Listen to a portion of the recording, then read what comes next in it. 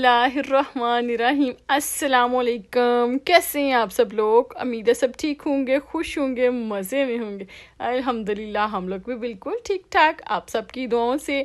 तो यहाँ पे आज का जो व्लॉग है ना, डायरेक्ट किचन से स्टार्ट हो रहा है। आज मेरा बड़ा दिल था कि आज मैं बड़ी अच्छी सी कुकिंग करूँ। कभी कभी इंसान का बड़ा दिल होता है ना, वो अच्छा अच्छा पकाए अच्छा अच्छा खिलाए। वैसे तो आम रूटीन में सारा कुछ ही अच्छा अच्छा बनता रहता है ना। कभी कभी इंसान बड़े दिल से कुकिंग करता है तो आज वो वाला दिन था। तो यहाँ पर मैं फ़िश जो कि ऑलरेडी हमारे पास पड़ी होती है फ्रीज़र में फ्रोज़न है तो ये पैकेटों में अलग अलग से पैकेट उन्होंने पैक ही होते हैं। ये तलापिया फ़िश आई थिंक इसका नाम है तो ये बड़ी मज़े की बनती है। अच्छा पहले पहले हम लोग यही वाली फ़िश लेके आते थे, फिर हमने चेंज कर दी, कई वराइटियाँ हमने ट्राई की, लेकिन इस बार फिर हुसैन यही लेके आ गए हैं। तो बहरहाल इसको डिफ्रोज़ किया था मैंने, और फिर इसको मैंने हल्के ऐसे ना क्यूस में काट लिया है। तो हुसैन को होता है कि हल्के हल्के इसके बरीक बरीक से ना फिले बनाऊँ। तो उनको थोड़ा मोटी वाली अच्छी नहीं लगती, लेकिन मुझे थोड़ी मोटी वाली अच्छी लगती है, और मांस को। भी तो मैं फिर मिक्स से ही सारे इसके ना काट लिए फिर लिया और इसके अंदर मैंने ना आधा कप के करीब बेसन डाल दिया है। वन टेबल स्पून के करीब मैंने इसके रेड मिर्च का पाउडर डाल दिया है और वन टीस्पून के करीब मैंने इसके अंदर हल्दी डाल दी है। ये जो फ़िश है ना मेरे पास तकरीबन वन और वन टीस्पून के करीब मैंने इसके अंदर काली मिर्च का पाउडर डाला है और वन टीस्पून के करीब इसके अंदर ना मैंने चाट मसाला डाला है। अच्छा चाट मसाला ज़रूर डालिएगा स्किप ना कीजिएगा बड़ा मज़े का फ्लेवर आता है। अच्छा वन टेबल स्पून के करीब मैंने इसके अंदर ना कुटी हुई मिर्च डाल दी है। दादर मिर्च जिसको बोलते हैं ना, वो डाल दी है। और साथ ही में इसके अंदर मैंने वन टेबल स्पून के करीब पिसा हुआ ज़ीरा डाल दिया है। और वन टेबल स्पून के करीब मैंने पिसा हुआ इसके अंदर धनिया डाल दिया। अच्छा ये प्रॉपर पिसे हुए नहीं है, दरदरे से हैं ना, जैसे मोटे मोटे से हैं, वो अच्छे लगते हैं ज़्यादा। तो साथ ही में हाफ़ टी स्पून के करीब मैंने इसके अंदर गर्म मसाला डाल दिया और एक टी स्पून के करीब मैंने इसके अंदर ना अदरक का पेस्ट पेस्ट कह रही हूँ, अदरक का पाउडर डाला है और लहसन का पाउडर मैंने इसके अंदर डाल दिया, साथ में वन टेबल स्पून के करीब इसके अंदर नमक डाला है। अच्छा नमक हमेशा फ़िश में ना थोड़ा ही डाल गया क्योंकि फ़िश वैसे भी आमतौर पर थोड़ी सी ना नमकीन सी होती है तो ज़्यादा नमक इसके अंदर बिल्कुल अच्छा नहीं लगता। अच्छा आज मेरे पास ना लेमन नहीं था, वैसे तो मैं ज़्यादा आमतौर पर इसके अंदर लेमन स्क्वीज़ करती हूँ, लेकिन इस लेमन की जगह आप इसके अंदर सिरका भी डाल सकते हैं। तो मैंने वन टू टेबल स्पून के करीब ना सिरका इसके अंदर डाल दिया है। साथ ही मैंने कसूरी मेथी डाली है तो कसूरी मेथी को डायरेक्ट मैंने नहीं डाला, ऐसे ही ना हाथों के से अच्छा सा इसको मसल लिया तो फिर डाल दिया। तो तकरीबन हमने इसके अंदर आधा कप के करीब पानी डाला है। तो पानी आप लोग देख के डालिएगा, अगर आप लोगों ने फ़िश जो है ना अभी वाश किया तो फिर इतना ज़्यादा पानी इसके अंदर नहीं डाल, जाएगा। तो अच्छा मैं यहाँ पे कप वही इस्तेमाल कर रही हूँ क्योंकि आमतौर पर हम बेकिंग के लिए इस्तेमाल नहीं करते, वही वाले तो दूसरे चाय वाले कप ना कहीं आप पानी का इसमें डाल दीजिएगा। यहाँ पे आपको अभी भी सूखी, सूखे सा लग रहा होगा तो आपने इसके ऊपर कुछ भी नहीं करना, ऐसे प्लेट देगी या फिर आप पेपर लगा के इसको एक साइड पर रख दें तो ये बिल्कुल बिल्कुल सही वाली कंसिस्टेंसी आ जाएगी रनी वाली नहीं हमें चाहिए ना। तो साथ ही में यहाँ पर आप जल्दी से बना लेते हैं जी चिकन पुलाव। बहुत ही मज़े का लगता है, बहुत टेस्टी लगता है। अच्छा मैं काफ़ी दिनों से सोच रही थी कि मैंने चिकन पुलाव बनाना है, क्योंकि आमतौर पर हम लोग ना ज़्यादा मटन पुलाव बनाते हैं। हुसैन को ज़्यादा मटन पुलाव पसंद है और ईमान को चिकन पुलाव पसंद है। तो मैंने कहा, चले आज ईमान की फरमाइश पर ही बना लेते हैं चिकन पुलाव। बहुत ही मज़े का और टेस्टी सा बना था। तो एक खूबसूरत सी प्यारी सी कढ़ाई में मैंने इसके अंदर टू मीडियम साइज़ के ना प्याज को ऐसे स्लाइस कर लिया। अच्छा यहाँ के प्याज आजकल पता नहीं कैसे आ गए हैं, इतने रफली से हैं कि बस उसको ना काटते काटते मेरी तो आँखों में इतना पानी आ रहा है, इतना पानी आ रहा है। मैं कहती ऐसे जालम प्याज आजकल आए हुए हैं ना।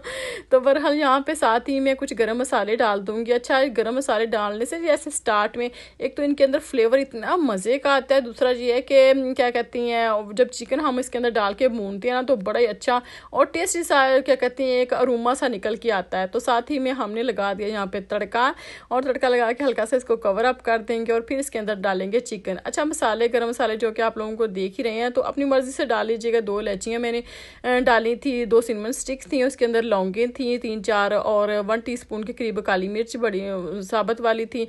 इसके अलावा वन टेबल स्पून के करीब ना सफ़ेद वाला ज़ीरा था, वो हमने डाला था और चिकन डाल के ना हमने अच्छी सी इसकी बुनाई कर लेनी है। अच्छा जो क्या कहते हैं चिकन पुलाव का दरमदार होता है ना, सारा सारा चिकन के ऊपर डिपेंड करता है। अच्छा जितनी अच्छी चिकन की बुनाई हुई होती है ना, उतने मज़े का टेस्टी सा फ्लेवर निकल के आता है। तो साथ ही में यहाँ पर हम पिंक नमक डाल देंगे। आप लोग भी मेरे ख्याल में पिंक नमक ही आजकल इस्तेमाल कर रहे होंगे। मैंने तो कितनी बार अपनी रेसिपीज़ में आप लोगों को बताया कि पिंक नमक सबसे बेस्ट है। तो टू टेबल स्पून के करीब मैं इसके अंदर पिंक नमक मैंने डाला है, मैंने ना डेढ़ ग्लास चावल लिए थे तो आप अपने जायके के हिसाब से आप लोग ना एडजस्ट कर लीजिएगा। तो यहाँ पे लहसुन अदरक का पेस्ट जो कि मैंने अभी फ्रेश बनाया था, वो डाल देंगे साथ में सब्ज़ मिर्ची और एक अदर टमाटर मैंने इसके अंदर डाला है। अच्छा टमाटर का मैंने छिलका पील नहीं किया, साथ ही डाल दिया है ना। तो इसको डाल के अच्छे से फिर इसके, इसकी बुनाई कर लेंगे और फिर इसको हल्का सा कवर अप कर देंगे तकरीबन जस्ट टू थ्री मिनट के लिए, कि ताकि टमाटर भी हल्के से सॉफ्ट हो जाएँ और चिकन भी हमारी जो है ना, वो अच्छी सी गल जाए इसके अंदर पानी में। तो अच्छी सी इसकी बुनाई कर लें, ये देखें, जैसे ही ना ऑयल सेपरेट हो जाएगा तो हमने इसके अंदर ना पानी डाल देना है। पानी मैं हमेशा थोड़ा सा कम ही डालती हूँ। बेशक मैंने डेढ़ ग्लास ग्लास चावलों का लिया था तो तीन ग्लास जाने थे तो मैंने इसके अंदर ढाई ग्लास ही डाले हैं। क्योंकि चावल मैंने काफ़ी देर पहले भिगोए हुए थे आलमोस्ट तकरीबन एक घंटा हो गया था। तो जैसे ही पानी हल्का सा वार्म हो, आपने बहुत ज़्यादा उसको बॉयल नहीं देना होता ना हल्का सा वार्म हो तो हमने इसके अंदर ना चावल डाल देने भिगे हुए। और फिर मैंने इसको एक साइड पर कर दिया था, उतनी देर में मैंने कहा, फ़िश भी फ्राई कर लेती हूँ, क्योंकि टाइम हो रहा था हुसैन के आने का और लंच करने का। तो मैंने कहा साथ साथ दोनों चूल्हे जला लेती हूँ। तो खैर मैंने इसको ना दम लगा के तो एक साइड पर रख दिया दिया था दम, आप लोगों को पता है, हमेशा की तरह आठ मिनट में देती होती हूँ पुलाव को। तो वो दम पे चला गया तो यहाँ पे हमारी जो फ़िश फ्राई होने लगी है तो डीप फ्राई मैं करूँगी इसको, और डीप फ्राई करने से बड़ा मज़े का फ्लेवर आता है। तो आप लोग घबराइए मत, ये वाला ऑयल बाद में भी यूज़ हो जाएगा, आप इसको छान के किसी भी ना हंडी में, चावलों में यूज़ कर सकते हैं। तो बहरहाल यहाँ पर हमारी क्रिस्पी और मज़ेदार सी फ़िश फ्राई हो रही है। अच्छा यहाँ पे मैं बड़े मज़े के काम की बात ये बताती जाऊँ कि फ़िश जो है ना, हमारी तकरीबन पाँच से छः मिनट में बिल्कुल डन हो जाती है। तो कुछ लोग इसको डार्क करने के चक्कर में इसको इतना ज़्यादा फ्राई कर लेते हैं कि इसके अंदर जो मॉइस्चर होता है ना, इसका अपना पानी होता है, वो बिल्कुल ड्राई हो जाता है। और फिर इतनी ये, क्या कहते हैं, हार्ड लगती है खाने में। एक ही दफ़ा पहले टाइम में तो आप लोग खा लेंगे, जब दूसरे टाइम फिर खाने लगे, फ़िश तो बिल्कुल टेस्ट नहीं आता। तो कोशिश करें इसका हल्का हल्का गोल्डन सा कलर ही आए, ताकि फ़िश तो ऑलरेडी हमारी पक चुकी है, वो जल्दी से ही पक जाती है। तो लीजिए जी जनाब, यहाँ पे हमारा मज़ेदार टेस्टी सा चिकन पुलाव बन के रेडी हो गया। अच्छा इसका कलर देखिए, माशाल्लाह से कितना प्यारा है। पुलाव का बिल्कुल परफेक्ट कलर है। इससे डार्क कलर बिल्कुल भी अच्छा नहीं लगता। वो फिर ऐसा लगता है जैसे गुड़ वाले चावल हैं। तो खैर, यहाँ पर मैं फिर आप लोगों को डाल के भी दिखाती हूँ। ये लें जी माशाला से। आपके मुँह में भी पानी आ रहा होगा पुलाव देख के। तो खैर, जल्दी से जाके मेरे चैनल को सब्सक्राइब कर दें लाइक कर दें कमेंट कर दें, अपने फैमिली और फ्रेंड्स के साथ भी शेयर कर दें, ताकि अच्छी अच्छी रेसिपीज़ आपके फ्रेंड्स और फैमिली भी देख सकें एंजॉय कर सकते हैं मेरे ब्लॉग को। तो ये वाली कंजूसी मत कीजिएगा और ये वाली वीडियो देख के ना तो एक लाइक तो लाजमी बनता है तो प्लीज़ लाइक भी कर दें। तो यहाँ पे मैंने कहा, चले, जितने वेजिटेबल घर में मौजूद हैं तो उससे हल्का फुल्का सा सैलड बना लेती हूँ। आपको पता है पुलाव और बिरयानी वगैरह हो ना तो सैलड के बगैर बिल्कुल भी अच्छे नहीं लगते। खैर, बिरयानी अच्छी लगती है क्योंकि थोड़ी वो स्पाइसी होती है, लेकिन पुलाव तो सैलड और चटनी के बगैर मुझे तो लगता है बिल्कुल भी अच्छा नहीं लगता। और वैसे भी आपका ना एक मुकम्मल और, क्या कहते हैं, बिल्कुल गजाइए से भरपूर फ़ूड रेडी हो जाता है जब आप पुलाव के साथ सैलड भी खाती हैं। तो यहाँ पर मैंने टमाटर को चॉप काट लिया है। तो साथ ही मैंने यहाँ पे दो दद खीरे ले लिए। अच्छा ये वाले खीरे हैं ना, इसका छिलका पील नहीं करते। ये मांस को इतने पसंद है, माशाल्लाह से बहुत ही ज़्यादा।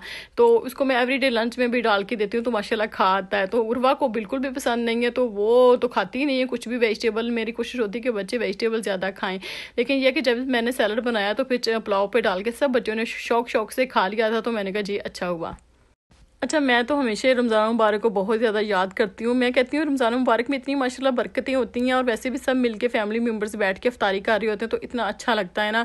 और बच्चे जिनको चीज़ें नहीं भी पसंद होती ना, वो भी खा लेती हैं। तो आजकल तो बच्चे स्कूल जाते हैं, पापा और क्या कहते हैं, हुसैन और मैं पहले लंच कर लेती हैं, बच्चे आके करती हैं तो वो क्या कहते हैं सैचर संडे वाले दिन इकट्ठा लंच होता है। तो मैंने ये नोट किया कि बच्चे फिर खाते नहीं हैं। अगर आप लोग ना सारे फैमिली मेंबर्स बैठ के टेबल पर या फिर दस्तरखान पर सब मिल के खाएँ ना तो बच्चे बड़े खुशी खुशी खा लेते हैं, उनका पेट भी फुल हो जाता है और वैसे भी अल्लाह ताला बरकत डाल देता है। तो यहाँ पे मैंने लेटस भी काट ली है और लेटस मेरे पास यही वाली थी आज। अच्छा आप लोगों ने भी नोटिस किया होगा, जब हम लोग कोई चीज़ थोड़ी अहतमाम के साथ बनाते हैं, थोड़ा दिल से बनाते हैं तो वो ज़्यादा खाई जाती है। जैसे पुलाव के साथ अगर सैलड ना हो तो पुलाव खाने का इतना मज़ा भी नहीं आता और ज़्यादा खाया भी नहीं जाता। अगर सैलड चटनी हो ना तो बड़ा मज़ा आता है और बंदा फुल होके खाता है।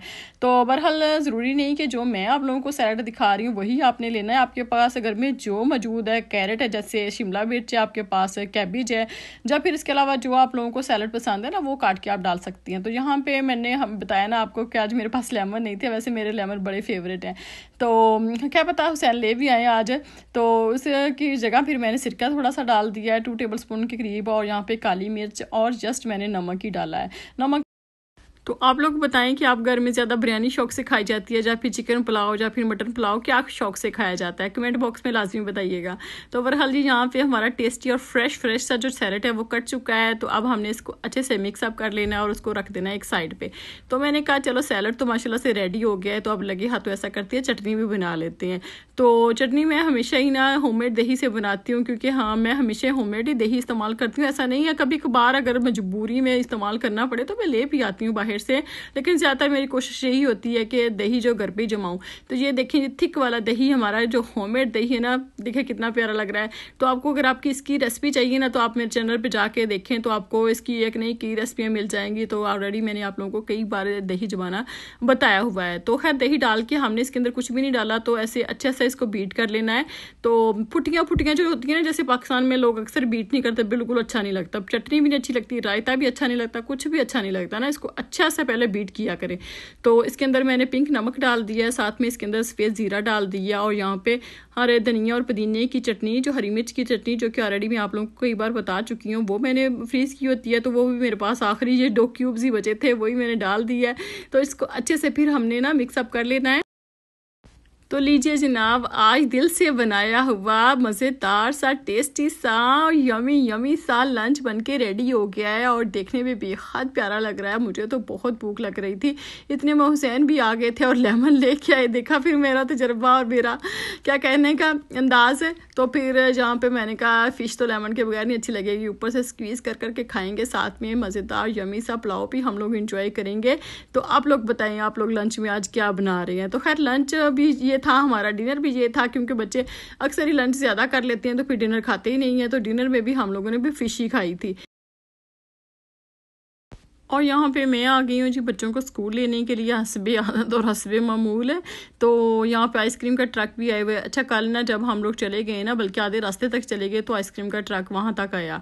तो माज ने देख लिया। तो जब हम लोग वहाँ पे पार्क में बैठे हुए थे, तब आया नहीं। अच्छा ये लड़का उस टाइम से लेके घर तक पंद्रह बीस मिनट ऐसे रोता हुआ आया ना कि मैंने आइसक्रीम लेनी, मैंने आइसक्रीम लेनी। तो मैंने कहा, वापस क्या जाए स्कूल में? तो सुबह को मैं तुम्हें तो ले दूँगी। लेकिन कहाँ माने? देखें जी बच्चों की जीत तो आज तो जब मैं आई हूँ तो सबसे पहले यही काम है कि मम्मा आइसक्रीम लेके दें, आपने कल प्रॉमिस किया था। तो मैंने कहा, ले लो अब आइसक्रीम। तो बरहाल जी, यही था मेरा आज का छोटा सा प्यारा सा ब्लॉग आई होप आप लोगों को पसंद आया होगा। तो पसंद आया तो जल्दी से जाके लाइक कर दें। अच्छा खाएँ हेल्दी खाएँ, हमेशा अपनी दुआ में याद रखिएगा। मिलती हूँ फिर नेक्स्ट वीडियो में नेक्स्ट ब्लॉग में। तब तक के लिए